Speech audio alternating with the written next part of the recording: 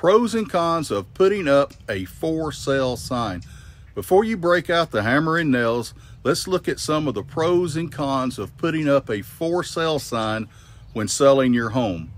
Three pros of for sale signs. Pro number one, encourages word of mouth.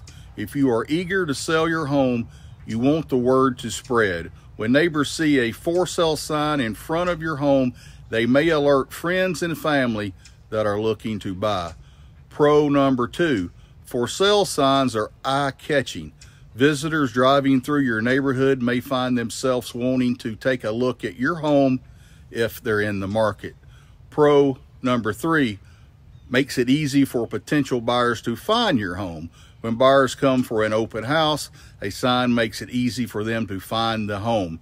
The last thing you want is for buyers to arrive confused and flustered. Three cons of for sale signs.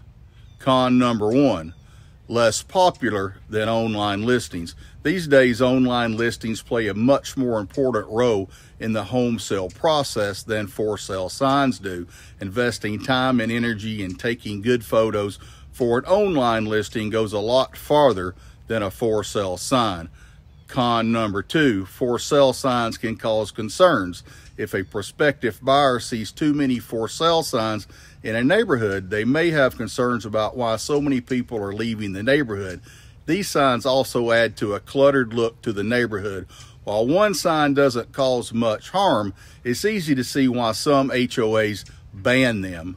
Con number three, less privacy. If you have nosy neighbors or for whatever reason you want to keep your sale on the down low, a for sale sign may attract a lot of attention to you and your home.